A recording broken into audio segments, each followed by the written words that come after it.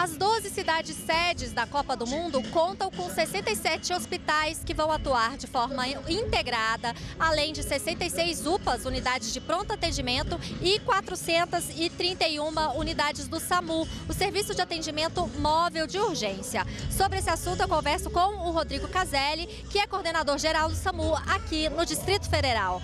Eu gostaria que o senhor explicasse que tipo de atendimento o SAMU está capacitado para oferecer nesses grandes eventos.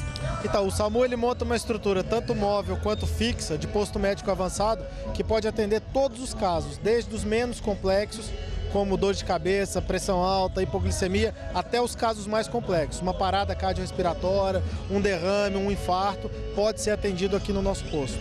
Quais são os atendimentos mais frequentes?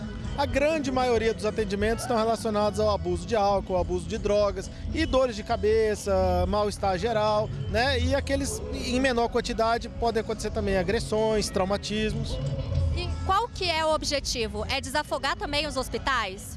É, os, são dois objetivos principais. O primeiro é que a gente consiga resolver esses casos de menor complexidade, para que esses pacientes não precisem procurar o hospital, deixando o hospital livre para atender a demanda deles, que já é bastante aumentada. E o segundo objetivo é esses casos mais graves que possam ser atendidos o mais rápido possível, com a qualidade do atendimento, para que se possa garantir a vida da vítima e depois, posteriormente, encaminhá-la ao hospital.